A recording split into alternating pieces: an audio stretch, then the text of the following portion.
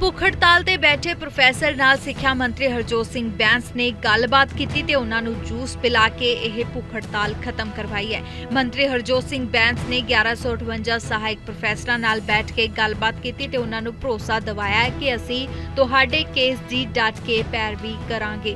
ਦੱਸਣਾ ਬੰਦ ਹੈ ਕਿ 1158 ਸਹਾਇਕ ਪ੍ਰੋਫੈਸਰਾਂ ਦਾ ਧਰਨਾ ਪਿਛਲੇ 8 ਦਿਨਾਂ ਤੋਂ ਲਗਾਤਾਰ ਪਾਣੀ ਵਾਲੀ ਟੈਂਕੀ ਦੇ ਉੱਤੇ ਚੱਲ ਰਿਹਾ ਸੀ ਤੇ ਭੁੱਖ ਹੜਤਾਲ ਵੀ ਕੀਤੀ ਗਈ ਸੀ।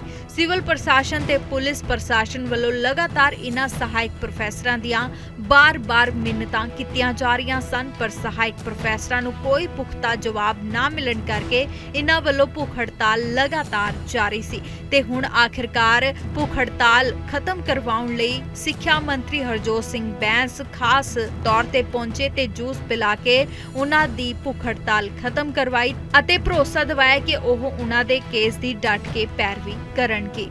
ਆਫਿਸ ਖੁੱਲ੍ਹਾ ਹੈ ਤੁਸੀਂ ਮੇਰੇ ਘਰ ਆਓ ਚੰਡੀਗੜ੍ਹ ਨੂੰ ਮਿਲ ਜਾਓ ਸਾਨੂੰ ਤਾਂ ਮੇਰੇ ਜਦੋਂ ਮਰਜ਼ੀ ਤੁਸੀਂ ਆਓ ਆਮ ਆਲਵੇਜ਼ ਅਵੇਲੇਬਲ ਇਹਨੇ ਪਰਖ ਕੇ ਵੀ ਦੇਖ ਲਿਆ ਮੈਂ ਕਦੀ ਇਹਨਾਂ ਨੂੰ ਮਨਾ ਨਹੀਂ ਕੀਤਾ ਜੇ ਮੈਂ ਫੋਨ ਨਾ ਚੁੱਕਾਂ ਘੰਟੇ ਦੋ ਘੰਟੇ ਚਾਰ ਘੰਟੇ ਬੈਕ ਕਾਲ ਜ਼ਰੂਰ ਆਉਂਦੀ ਹੈ ਇਸ ਕਰਕੇ ਬੇਨਤੀ ਹੈ ਮੈਂ ਤੁਸੀਂ ਸਾਰੇ ਸਾਡੇ ਪੰਜਾਬ ਦਾ ਵੇਖੋ ਸਾਡੇ ਕਾਲਜ ਖਾਲੀ ਪਏ we are committed for this ਭਰਤੀ ਅਸੀਂ ਇਹਦੇ ਲੀਗਲ ਬੈਟਲ ਹਾਈ ਕੋਰਟ 'ਚ ਵੀ ਲੜ ਰਹੇ ਹਾਂ ਆਊਟ ਆਫ ਹਾਈ ਕੋਰਟ ਵੀ ਜੋ ਵੀ ਪੋਸੀਬਲ ਹੋ ਵੀ ਕਰ ਬਹੁਤ ਧੰਨਵਾਦ ਜੀ ਆਪ ਸਭ ਦਾ ਧੰਨਵਾਦ ਤੁਸੀਂ ਆਪ ਸਭ ਨੂੰ ਅਹ, ਮੈਂ ਇਸ ਗੱਲ ਦਾ ਦਿਲੋਂ ਤੁਸੀਂ ਮੇਰੀ ਇਹ ਬੇਨਤੀ ਪ੍ਰਵਾਨ ਕੀਤੀ ਇਹ ਸਾਡੇ ਹੋਲਾ ਮਹੱਲਾ ਇੱਕ ਬਹੁਤ ਹੀ ਵੱਡਾ ਤਿਉਹਾਰ ਹੈ। ਤੁਸੀਂ ਇਸ ਹੋਲੇ ਮਹੱਲੇ ਦੇ ਤਿਉਹਾਰ ਦੇ ਵਿੱਚ ਸਾਡੇ ਚ ਕੋਈ ਆਪ ਇਹ ਬੇਨਤੀ ਪ੍ਰਵਾਨ ਕੀਤੀ, ਆਪ ਸਭ ਦਾ ਧੰਨਵਾਦ, ਸ਼ੁਕਰੀਆ। ਤੁਸੀਂ ਜਦੋਂ ਮਰਜ਼ੀ ਹੋਰ ਵੀ ਕੋਈ ਸਾਥੀ ਹੈ ਕੱਲੇ ਨਹੀਂ, ਉਹ ਜਦੋਂ ਮਰਜ਼ੀ ਹੋਰ ਵੀ ਤੁਹਾਡੇ ਬਹੁਤ ਸਾਰੇ ਸਾਥੀ ਆ ਕਿ ਮੈਨੂੰ ਨਿੱਜੀ ਤੌਰ ਤੇ ਵੀ ਮਿਲਦੇ ਰਹਿੰਦੇ ਆ। ਮੈਂ ਉਹਨਾਂ ਨੂੰ ਵੀ ਨਹੀਂ ਮਨਾ ਕੀਤਾ ਕਦੇ ਵੀ। ਤੁਸੀਂ ਵੀ ਆ ਕੇ ਜਦੋਂ ਮਰਜ਼ੀ ਮਿਲੋ, ਆਪਾਂ ਕੁਛ ਨਾ ਕੁਛ ਦਾ ਹੱਲ ਜ਼ਰੂਰ ਕਰਾਂਗੇ।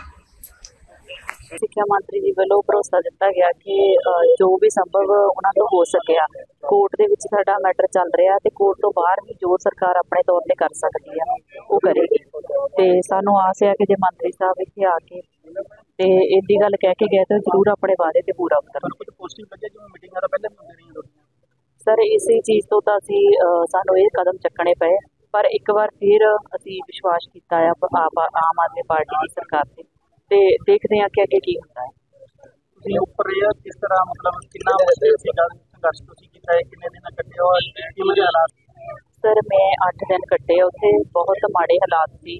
ਲਗਾਤਾਰ ਹਵਾਵਾਂ ਚੱਲਦੀਆਂ ਸੀ ਮੀਂਹ ਵੀ ਆਇਆ ਸੀ ਅੱਜ ਉਸ ਤੋਂ ਦਿਨ ਪਹਿਲਾਂ ਵੀ ਆਇਆ ਸੀ। ਪਰ ਅਸੀਂ ਆਪਣੇ ਹੱਕ ਸੱਚ ਦੀ ਲੜਾਈ ਲਈ ਖੜੇ ਸੀ ਤੇ ਉਹਦੇ ਵਿੱਚ ਸਾਡੀ ਜਾਨ ਵੀ ਚਲੇ ਜਾਂਦੀ। ਕੋਈ ਸਾਨੂੰ ਪਰਵਾਹ ਨਹੀਂ ਹੈਗੀ ਉਸ ਚੀਜ਼ ਦੀ। ਤੇ ਅਸੀਂ ਚਾਹੁੰਦੇ ਆ ਕਿ ਆਮ ਆਦਮੀ ਪਾਰਟੀ ਦੀ ਸਰਕਾਰ ਜਿਹੜੇ ਵਾਅਦੇ ਕਰਕੇ ਲੋਕਾਂ ਦੇ ਨਾਲ ਸੱਤਾ ਦੇ ਵਿੱਚ ਆਈ ਸੀ, ਸਿੱਖਿਆ ਕ੍ਰਾਂਤੀ ਦੀਆਂ ਗੱਲਾਂ ਕਰਦੀ ਆ ਜਾਂ ਫਿਰ ਸਿੱਖਿਆ ਦਾ ਏਜੰਡਾ ਲੈ ਕੇ ਆਈ ਸੀ, ਉਹ ਆਪਣੇ ਵਾਅਦਿਆਂ ਤੇ ਖਰਾ ਉਤਰੇ ਤੇ ਸਭ ਨੂੰ ਜਿਹੜਾ ਰੋਜ਼ਗਾਰ ਮਿਲੇ